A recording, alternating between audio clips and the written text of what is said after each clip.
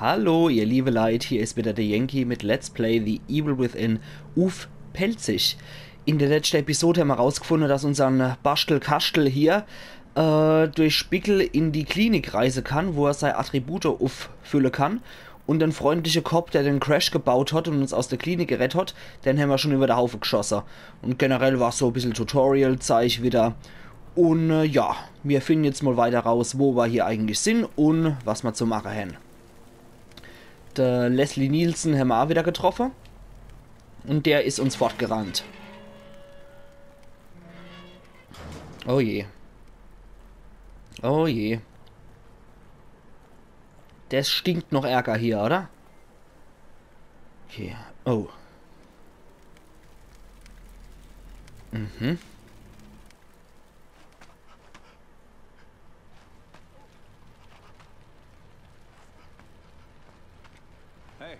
Ihr hier aus der Gegend? Ich habe keine Ahnung, wo... Kann nicht weiter.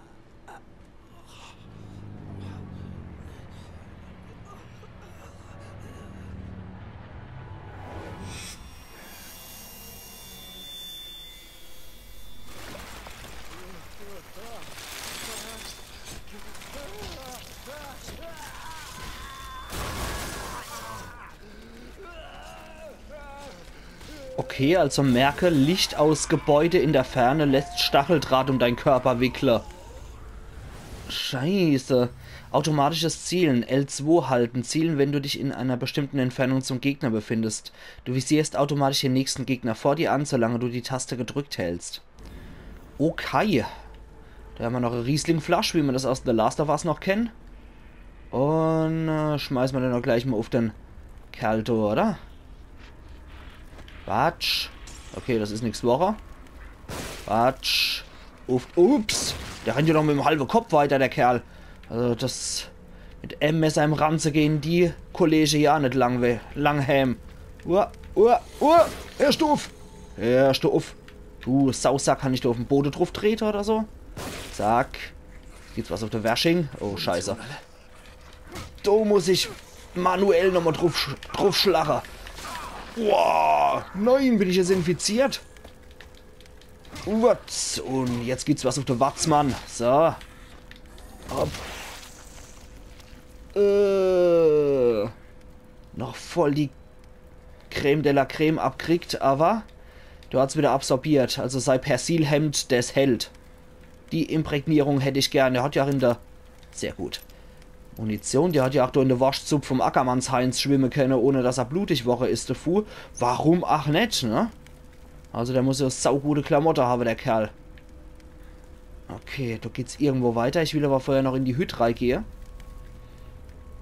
Wir haben anscheinend jetzt gelernt, dass es irgendwo in der Ferne ein Gebäude gibt. Vielleicht die Klinik. Und wenn man da Licht abkriegt, dann wären normallos irgendwie zu den Zombies, oder was wir da vor uns sind, zu den Stacheldraht-Zombies. Du Hämmer, was haben wir da drin? Streichhälser, saugut. Fünf Hälsler. Da können wir schon jemand anzünden. Weißt was, ich gehe einfach auf Nummer sicher. Ich will die Leute anzünden. Ich will keine böse Überraschungen erleben. Aber die Knabe, die wir jetzt gerade draußen niedergemacht haben, die haben es wohl schon hinter sich, ne? Okay, Gudi Spritz. Die flöten wir uns doch auch gleich mal rein. Und Plätsch, reite mit. Immer in dieselbe Eistichlöcher. Und äh, Munition, ja super. Geil die Scheiße, oder? Da haben wir noch einen versteckelten Schrank. Okay, also wir hätten theoretisch auch in den Versteckelmischschrank reingehen können. Warte können, bis die Kerle vorbei sind. Und dann hätten wir hier den Schleichmichel machen können. Und wenn wir im Schleichmichel-Modus sind, hätten wir sie von hinten Messer kennen. Kennt ich mal Ammo-Merke für zukünftige Ereignisse. Jetzt haben wir da wieder Dele für die Quallenarmbrust gesammelt. Dann sind wir in dem Gebiet auch gewesen. So, jetzt mag ich da mal ganz gern gucken, woher dann das Funzellicht komme ist. Von da hinten, ne? Und da hinten kommt das Zombie-Licht. Und das sieht meiner Meinung nach aus, als wäre das hier der Glockenturm von der Klinik gewesen, ne? Das Auge beobachtet uns. Da hockt anscheinend der Zombie-Sauron drin und jeder, der der Zombie-Sauron anglotzt, der wird zum Freako. Können wir da irgendwie rüber? Haben wir da so einen Fährmann oder so, der uns rüberschiffe könnte? Das wäre ganz cool.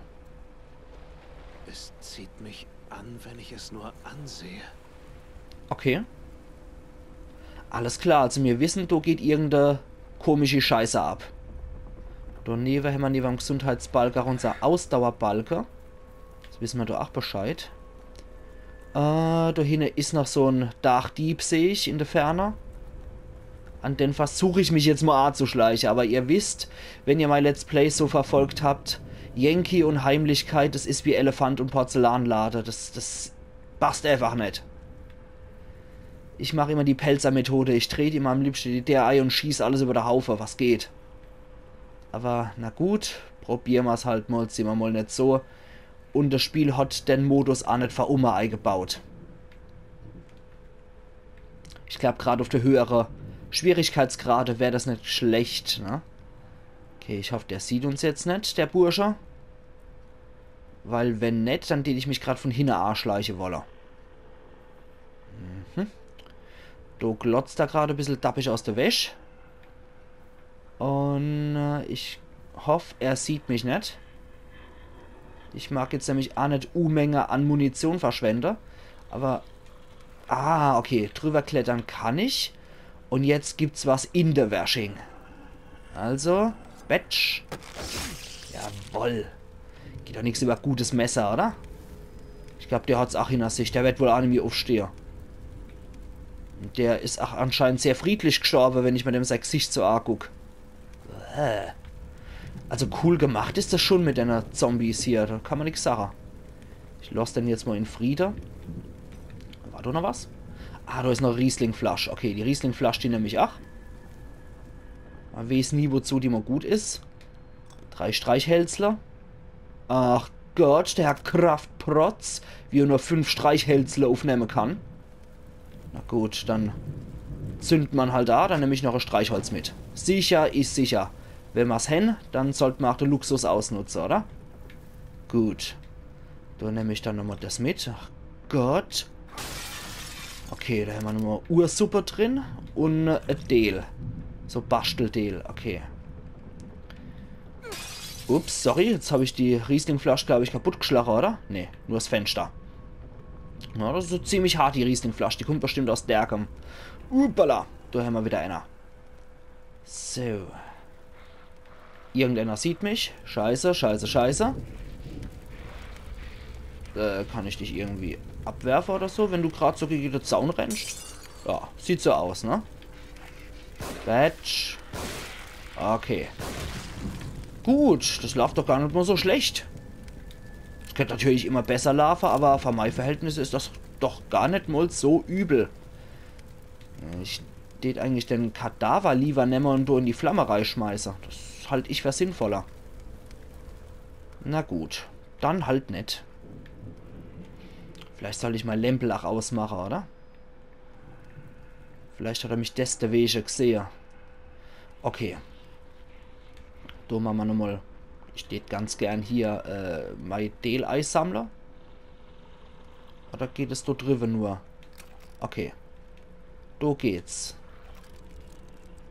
Und zack. Entschärft. Da geht doch bestimmt ein Schrank auf. Ah. Geht doch nichts über gutes Hirngel. Ja? Okay, als nächstes würde ich sagen, den ich definitiv bei der Upgrades mehr Streichhälsle tragen wolle. Das ist mal einfach sicherer so. Okay, dann nehme ich jetzt nochmal die Riesling-Flasche mit. Sehr geil. Das hat mir schon seit The Last of Us gefehlt, dass ich wieder Riesling-Flasch sagen kann. Okay, du gehst jetzt da rüber. Und dann schnapp ich mal dich nämlich ordentlich und petz da nochmal ein Messerle in den Kopf. Zack. Wetsch. Und weg bist. Dann zünde ich dich nochmal an zur Sicherheit. Und hol mal die Munition aus deinem brennenden Kadaver raus. Okay, dann sprinten wir nochmal zurück. Holen uns da nochmal Streichhälsel. Okay, das war jetzt schon zu vielfachen. So. Wunderbar. Dann sind wir jetzt wieder voll ausgestattet mit unserem Kruscht. Oh, und was ist da? Bärenfall, oder? Bärenfalle entschärfen. Schleichen plus entschärfen. Okay, ja super, da kriegen wir auch wieder Dela. Nein, nein, nein, nein, nein, nein, nein, nein, nein, nein, nein, nein, nein, nein, nein, nein, nein, nein, nein. Scheiße. Ey, gerade wieder reingedappt, du Dummkopf. Gibt's dann sowas? Kann ich das vielleicht irgendwie jetzt nochmal entschärfen, oder? Weil der Blädmann reingelatscht ist, gibt's das nämlich. Deswegen schalte ich die Helligkeit normalerweise auch immer höher, damit ich so einen Quark auch sehe. Ja. Irgendjemand hat mich gesehen. Hoppala. So, bleibst du liegen. Ich hätte dich gern angezündet, mein Lieber. So. So ist es doch besser, oder? Und da unser Knabe hier aus Pappe und Zeitungspapier bestehen, sind die auch sehr schnell entflammbar. So. Hole ich mal hier nochmal das Deal. Und wir sind schon wieder ordentlich ohne, was die Gesundheit angeht. Also das gefällt mir nicht so gut. Oh, wow, wow, wow. Beinahe wäre es wieder passiert. Ist wohl besser, dass ich dann hier mal Lempel eingeschaltet habe, die die Sache. Okay. Da geht's wohl... Ah, da geht's noch nicht weiter in ein wichtiges Gebiet. Okay. Die ich nämlich do ganz gerne noch neischluppe in das Loch. Na, se, hopp. Hopp, Bastel. So. Okay, da haben wir nämlich noch grüne Suppe, habe ich gesehen. Jawohl, 700. Ja, geil. Ansonsten gibt es da wohl auch nicht mehr viel. Da ist alles schon verbrannt. Und in die brennende Hütte renne ich normalerweise nicht rein, wenn sich das nicht lohnt. Okay, da ist nochmal was zum Entschärfer. Um die Glut rum. Und zack. Hol das. Ja, steht Sache, das schreit irgendwie noch einer Bastelstunde, oder? Wenn wir da genug Kruscht gesammelt hätten, kennen wir auch gleich bestimmt irgendwas Bastler. Dann hätte ich... Ah ja, das war genau. Das war der Raum hier. Dann dürfte ich soweit alles durchsucht haben. Du gehst wahrscheinlich weiter in die Geschichte. Und dann würde ich nach Donai gehen. Äh, Doneve ist noch ein Droht gespannt, sehe ich. Den sack ich jetzt auch noch ein. Quatsch. Neun Däler. Ich bin mal gespannt, wie viel ich eigentlich dann brauche. Ah nee, da war ich auch schon. Okay. Ich bin immer gespannt, wie viel ich von dem Zeich dann später eigentlich brauche, um was zu basteln. Höchstwahrscheinlich kann ich irgendwie nur zwei, drei Dele machen oder so, gerade mit dem, was ich zur Verfügung habe. Okay, das ist alles irrelevantes Klärgebiet, aber trägt zum Ambiente bei. Gut, dann würde ich sagen, wir haben soweit alles, ne? Und dann machen wir hier den Mechanismus rein. Ih, wo kommt denn ihr her? Sagt mal, wo kommt ihr denn her? Aus Zomphausen, bitte sehr. Ih. Kotze Typ. Uh. Uiuiuiui. Lad noch, lad noch. Oh Gott! Mann! Scheiße. Okay, dann hat's wieder zerrobbt. Wie sieht's mit dir aus? Du bist immer noch gesprenkelt, ne? Okay, du greifst doch episch der Zaun an.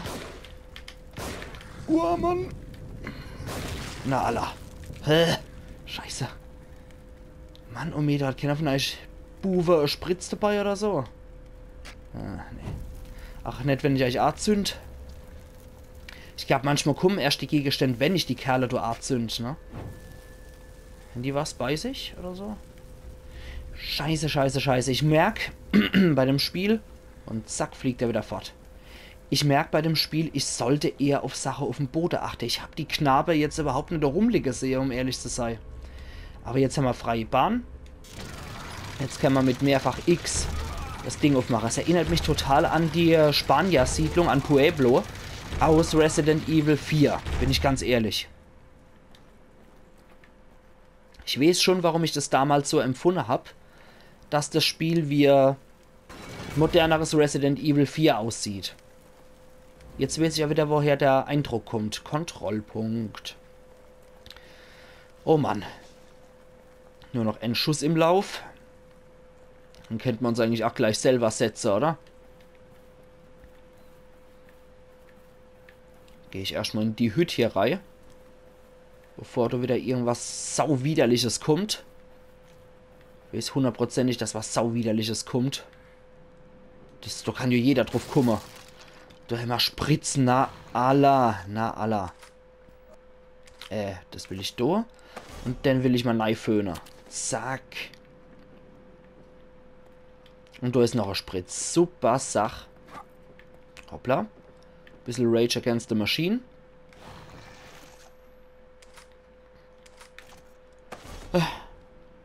Und noch Annie. Weil es so Spaß macht. Kartenfragment 3. Beacon Mental Hospital. Okay, das ist wohl das, wo wir am Anfang drin waren.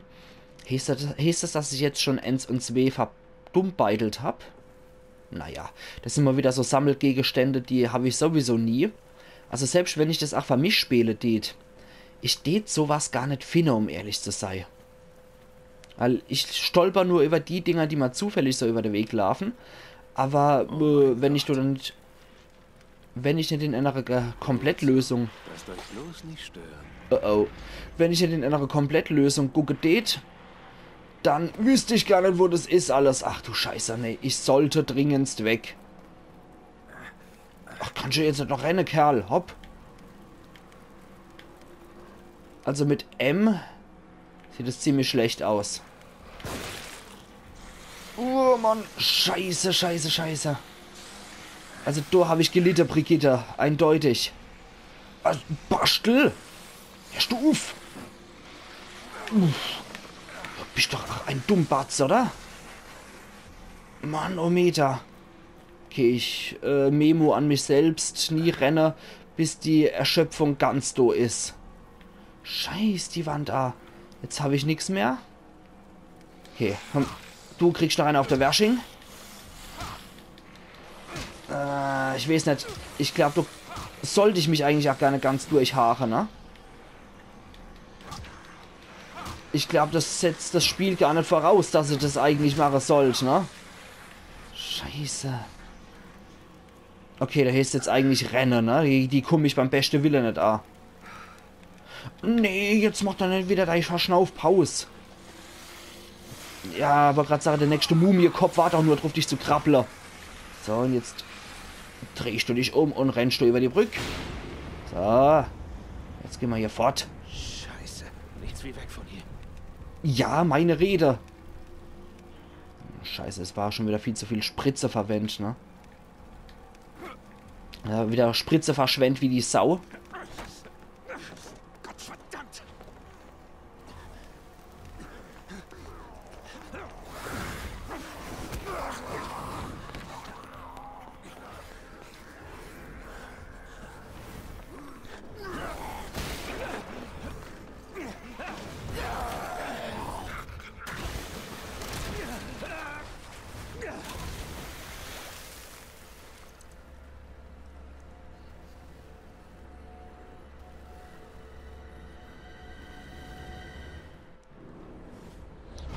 Okay, Kapitel 2 überlebt. Ja, super.